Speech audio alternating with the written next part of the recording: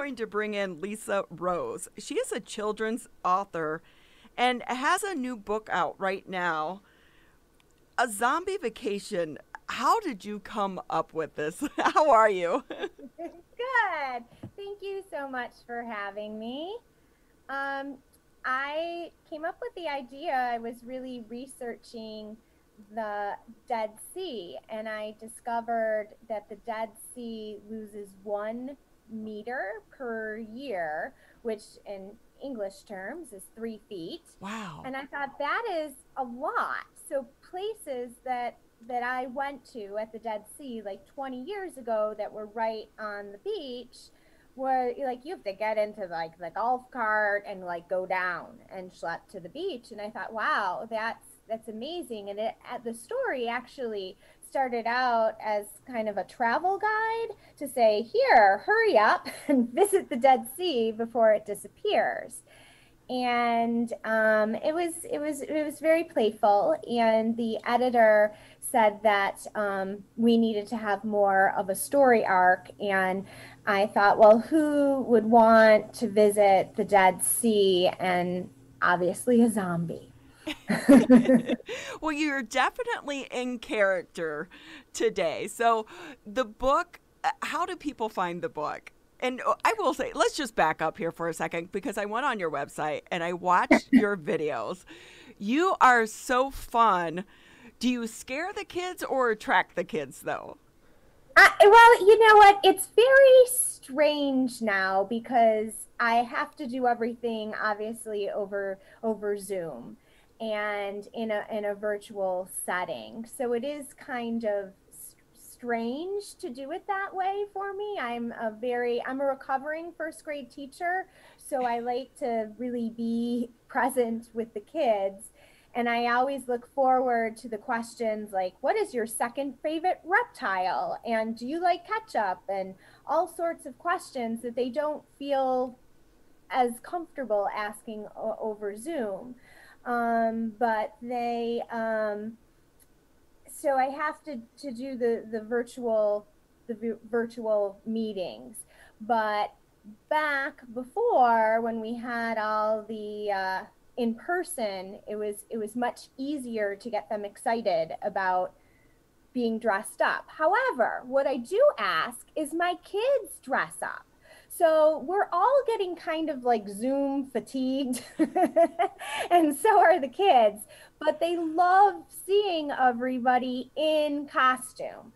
So we kind of make it a big party that everybody dresses up. Halloween is coming up.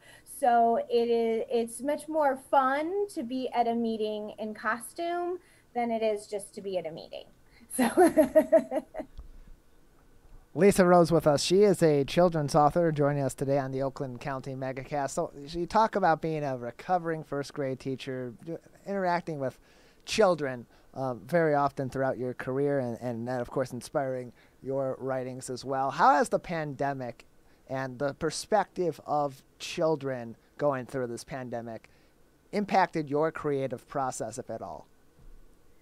Um, well, really, when everybody was watching Tiger King and taking advantage of Netflix, I actually really relished the time to to write. Um, I also have a daughter who is having you know virtual school as well.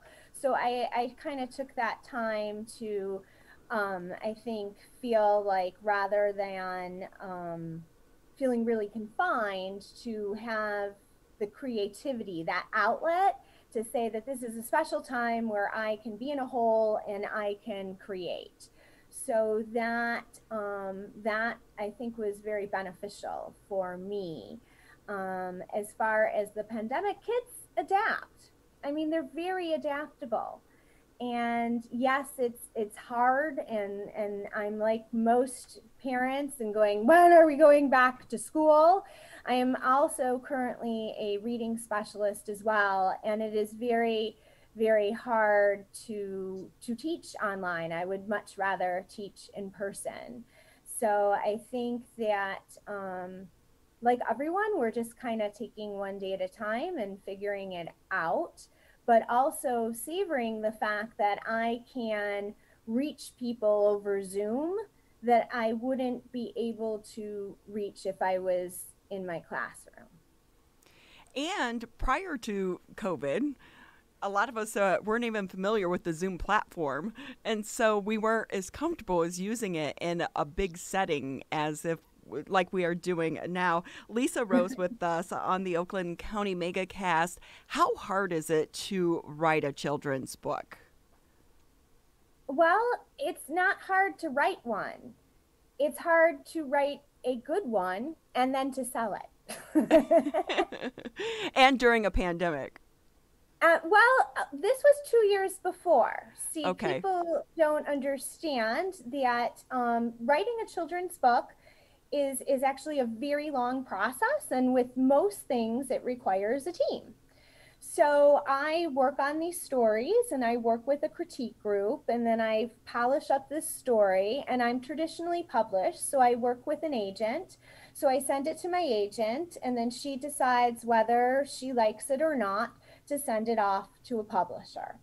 And then the publisher decides whether or not they can publish it. And this process can take anywhere from from six months to a year to several years until you have a, a, draft that you feel is good enough for, for a publisher to look at.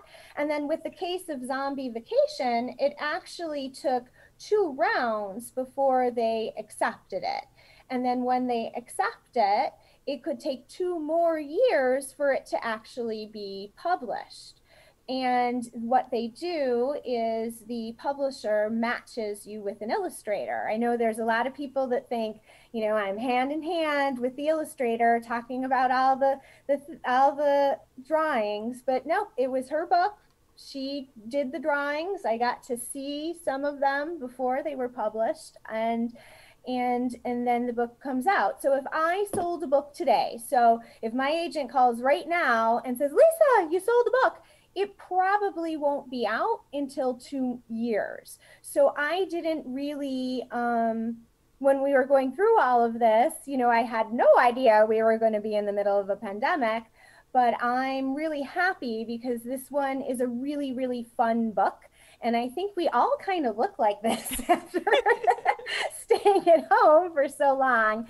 And it's, um, and it's just really fun and the kids are having a lot of fun with it and i think that's what's really important is that we have to remember how to laugh and have fun even though it is a very challenging time. The illustrations are absolutely fabulous and like you said they are fun as well.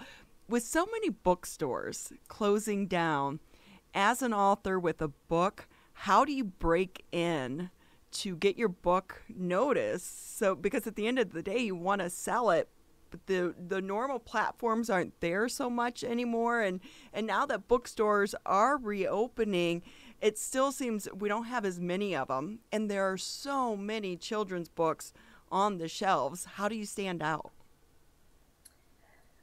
Try to do everything you can. Which is why you're dressed as a zombie right now. You're right. You try to do everything you can. I am fortunate in the sense that a zombie vacation will be part of what is called the PJ Library. So that is, um, they send out Jewish themed books to children across the world, really. So, um, about a few months from now, a zombie vacation will go to probably over 25,000 homes in North America. Wow. So, my my first picture book, The Shmulik Paints the Town, was a PJ Library selection in 2016 and then again in 2020. So, it went out to um, probably combined over 50,000 homes um, that helps with being in the PJ library to because there are PJ library communities in pretty much every city um, in North America and then across the world. So that it's a very um, small section, but getting out to the larger community, um, that's always challenging. And um, to you know we're all trying to find find a way to be heard. Well you stand out in a crowd i will tell you that. And and re and reinvent yourself on on social media and and just really having a, a fun time with it. And i think that if you have a, a good book and you're excited to share it and uh, that that people people are going to find it Lisa Rose with us. She's a children's author, author joining us today on the Oakland County Megacast. Lisa, just another few minutes with you today before we'll have to let you go. Anything else you'd like to talk about regarding um, regarding your book, A Zombie Vacation, any of your other writings, possibly, or uh, what's next in the future? Um, actually, April 1st, I have a, a very serious, very serious nonfiction book coming out about the friendship between Marian Anderson and Albert Einstein. Marian Anderson was denied a room after she sung at Princeton, and Albert Einstein overheard this conversation. He attended the concert and he said, Here, come home with me. And they became friends up until his, his, death. And um, it's very, um, I think it's a very important book right now when we talk about the state of race in our country. So um, I am happy though that I get to do something fun before something very serious. So um, for right now, I am scheduling virtual author visits and I can come to classrooms uh, here in, in Oakland County and really across the country and the world. And I think it's really important that the kids, because authors used to be able to do school visits. And I think it's so important for kids to know that authors are really, they're alive, they're real people, they have laundry, they have cats. and to know that that, wow, I can, someone actually that I know wrote this book and to have that personal connection. So on my website, lisarosewrites.com, you can contact me and I can come to your classroom virtually. And kids can ask questions and I can talk about writing just in the same way that I would be in their school. You definitely have a very interesting backdrop behind you. So I give you like uh, the gold star for that. Definitely out of the last few months, yours is very cute, very very cute. Real quickly before we let you go, you are so talented, and to be able to cross genres the way you do. What advice do you give to other inspiring writers and authors right now? You have to write what touches you. Um, Jane Yolen said it very best. She says, Write your heart, but don't break your heart if it doesn't sell. And I think um, I always kind of root for the underdog, and all of my books, even though there's very diverse, I write funny picture books, I have very serious picture books, I have a chapter book series about a second grade girl who wants to be an astronaut and also uses a wheelchair. Um, but all of them are about just having that that unheard be heard whether that is a zombie and really the zombie book is essentially about being your amazing self you know he didn't feel like himself and he had to get to where he felt like himself again. And so I think that you have to find that voice inside of you and write that voice for you. I know you mentioned social media and trying to stand out. Is there a platform for writers or aspiring writers that they could maybe post it and have it critiqued from different individuals? There's tons of platforms. but really, what you would want to do is you would want to join the Society of Children's Book Writers and Illustrators, scbwi.org. And that is where you can connect with other authors and illustrators in your community and you can get supported with your with your writing um, that really helped me I, I actually i actually started out as a, as a playwright at, in college and then I, I ta- like I told you, I taught first grade, so I just kind of kind of fell into the picture books. but um, I, I had a lot of writing background before, but we always need work. I mean, one of the things that I really love showing with my my students is I show them the writing process all the way through. So even though my book is accepted and going to be published, they always like to see how my editor marks up my manuscript and that even though I'm an adult and I'm a published author, that I am still working on my writing and keep working and working and working. And when I go to schools, I always have my big bucket of rejection letters and I dump them all over the floor. And I say that if I stopped, you know, after someone said no to me, that I wouldn't um, that I that I wouldn't be an author and, and wouldn't be speaking with them today. And I and I call it the power of yet. That you know you have to say to yourself, I'm not a published author yet, and put it in that that framework. And every no, you just say, not yet, not yet, not yet. And you keep going, and that can apply to anything in, in life. It can apply to, you know, doing math problems or doing I'm not good at this yet or I'm not the basketball star yet or I'm not a doctor yet.